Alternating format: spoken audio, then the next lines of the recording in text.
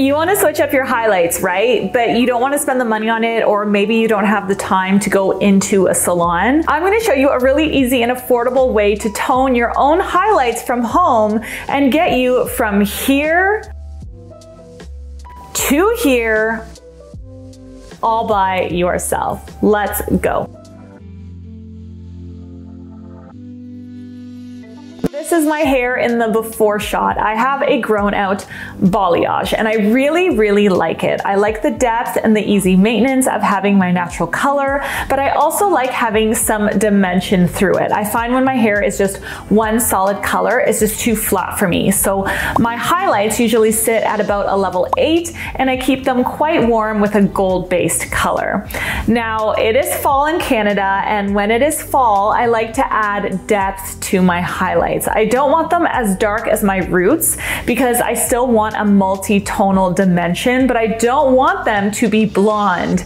This is how we're gonna do that from home. This is how you're gonna do it from home with minimal steps and no damage. We are gonna use a direct deposit color, which is a toning gloss. I found this one at Shoppers Drug Mart and it is by the company Clairol. It's called the color Gloss Up and I picked the color Warm Caramel Brownie because because warm colors look awesome with warm based skin tones like mine. I did an entire video on skin tone and hair color and you can find a link to it in the pinned comment below in case you're wondering what your next color should be. What a direct deposit color or a color gloss is, is it's a stain that sits on the cuticle layer or the outermost part of the hair shaft and it stains the layer in a really nice, rich and conditioning way. It does not need a developer because it does not need to go into the hair shaft. Therefore, there is no need to mix it with anything. So who will a color gloss work for? It's going to work for anyone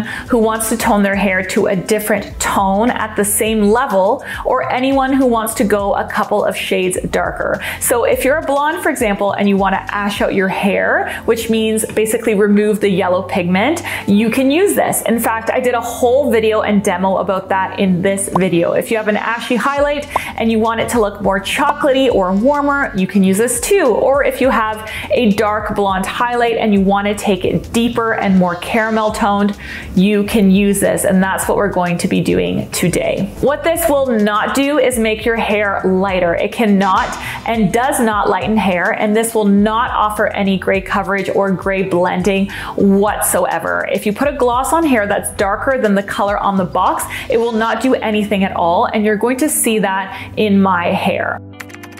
Now that we figured out how it works, let's do our application. What this box says to do is wash the hair and apply it on clean and wet hair. You can absolutely do that and I've done that before and it does work. You can even do this in the shower after shampooing your hair and that's just like a super easy way to apply it. But hairdressers love breaking rules, you guys. We break all the rules. So I chose to do it on my dry hair and the reason I chose to do it on my dry hair is because when you tone tone dry hair, it tends to come out a little bit richer and a little bit darker, which is exactly what I wanted. As you can see, I only have highlights on the top sections of my hair and not on the bottom. So it's wasteful to apply it to the bottom sections of my hair because it really will not do anything. It won't touch that darker hair. So I just applied it where my highlights started. You want to move section by section. This is important for an even end result. Make sure to fully saturate the strand strands and use more than you think you need. Look at this section, for example. Do you see how this particular section is a little bit dry? If I left it like this, I would end up with a splotchy and uneven end result. Now, depending on your desired pigment amount, you can leave it anywhere from 2 to 15 minutes. And I chose to leave it on for 15 minutes because I really wanted it quite pigmented. When the time is over and it's time to rinse, if you're doing this on pre-washed wet hair, you just have to rinse it and then style your hair. You don't have to shampoo. But since my hair isn't clean, I did a shampoo and then I conditioned.